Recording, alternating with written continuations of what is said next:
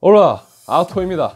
반갑습니다. 자 드디어 라디온 7이 출시되었고 기다리던 필드 테스트가 진행되고 있습니다. 뭐 저도 제품을 직접 리뷰해보고 싶었지만 앞에서 전해드린 것처럼 말도 안 되게 적은 초기 물량 탓인지 모르겠지만 직접 사려고 해도 제품을 구할 수 없는 상황이고요. 물론 살 돈이 있다는 건 아닙니다. 혹시 대회 주실 분이 있으시다면 일단 우리가 가장 궁금했었던 건 RTX 2080과의 대치 관계였습니다. 어쩔 수 없는 게 이 전쟁의 시작은 AMD의 일사수가 직접 RTX 2080을 거론하며 선빵을 날렸습니다. 그리고 오랜만에 하이엔드 시장을 노리고 나온 라디온 7에 대부분 열광했지만 출시 가격을 듣고서는 뭐 대부분 바로 현자 타임이었죠.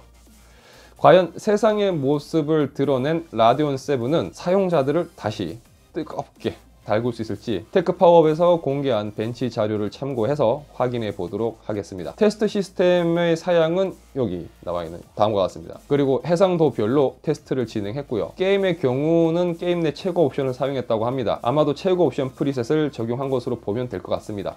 테스트한 게임 중 몇 가지만 추려서 나온 벤치 자료를 보도록 하겠습니다. 어쌔신 크리드 오디세이입니다. 유비소프트는 CES 행사장에서도 봤듯이 AMD와 상당히 긴밀히 협조하는 게임사 중 하나입니다. 당연히 프레임에 있어서 좋은 결과가 나올 거라고 생각했습니다만 FHD 해상도에서는 RTX 2070보다 낮은 프레임 수치를 보여줬고요. 물론 AMD에서 강조했듯이 이 제품은 넉넉한 메모리를 바탕으로 고해상도 사용에 중점을 두었다고 했기 때문에 고해상도로 넘어갈수록 좋은 성능을 보여줄 거 거라고 기대가 됩니다. QHD 해상도에서는 RTX 2080보다 한 7프레임 가량 모자란 수치를 보여줍니다. UHD 해상도에서도 끝내 RTX 2080보다 3프레임 정도 부족하고요. 배틀필드 5의 벤치 데이터 수치입니다. 아무래도 배틀필드 5는 엔비디아의 성향이 강한 게임이죠. 여기서는 어떤 결과를 보여줄까요? FHD 해상도에서는 RTX 2080을 바짝 추격합니다. 한 2프레임 정도 차이 나네요. QHD 해상도에서는 드디어 RTX 2080을 추월합니다. 6프레임 정도 앞섭니다. UHD 해상도에서도 RTX 2080을 추월했고요. 가장 최근에 나온 Just Cause 4입니다. 풀 HD부터 UHD까지 GTX 1080 Ti보다 낮은 프레임을 보여줍니다. 네, 바로 딴 게임 보겠습니다. 레인보우 6 시즈입니다. GTX 1080 Ti 및 RTX 2070보다 낮은 프레임을 보여줍니다. 정말 이건 완전 AMD를 위한 게임이다라고 할 수 있는 파크라이 5입니다. 풀 HD를 제외하고 QHD 및 UHD에서 RTX 2080을 앞서는 성능을 보여주고 있습니다. 하지만 어, 5프레임에서 6프레임 정도의 차이입니다.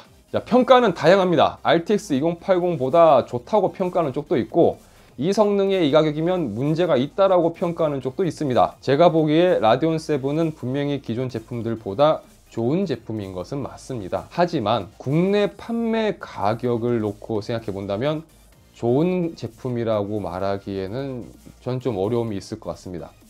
어차피 구하기도 쉽지 않은 모델이지만 가격을 생각해 본다면 글쎄요. 어쨌든 앞으로 드라이버 안정화이 조금 더 속성이 된다면 어떤 결과를 보여줄지 뭐 사뭇 기대가 됩니다.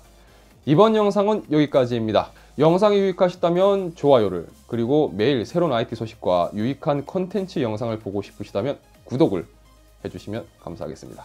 저는 다음 영상에서 다시 인사드리도록 하겠습니다. 시청해주셔서 감사합니다.